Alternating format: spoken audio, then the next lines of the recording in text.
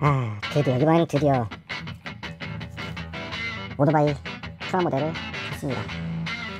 예전부터 좋아했던 그 스즈키 하야부사 색깔이 많으니까 이건, 좀 옛날 거같 음, 이 색깔이 많으니까 할수 있는지 보고요. 맨 처음에 좋아했던 시절 300 WS 블랙바디 이게 아주 사상 소리 밖에 없네 요. 블랙바디니까 검색을 해야겠죠. 네.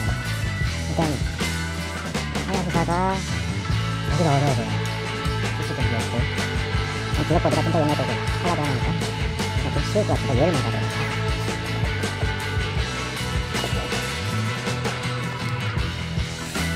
카우 색깔이 색깔하고는 같은데 얘들을 그냥 해도 될까요? 일단 보면은 얼룩덜룩한데 할까요?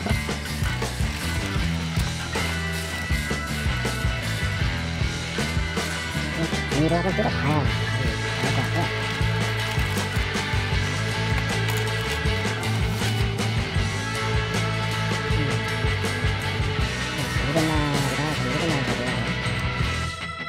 짐작하도록 하겠습니다. 아, 네, 역시나 난이도가 그렇게 쉽진 않을 것 같으네요. 이걸 일일이 다 잘라갖고 붙여야 되나? 그리고 여기 있는 거 일단 사진 샀어요. 한 명으로 하야부사하고 더블엑스하고 자 이제 물건이 있는지 체크를 하고 나는 이 샷을 붙는 게 맞는지 체크를 해서 불편이지 많죠 값이 있는데 자 카페이즈가 프레임입니다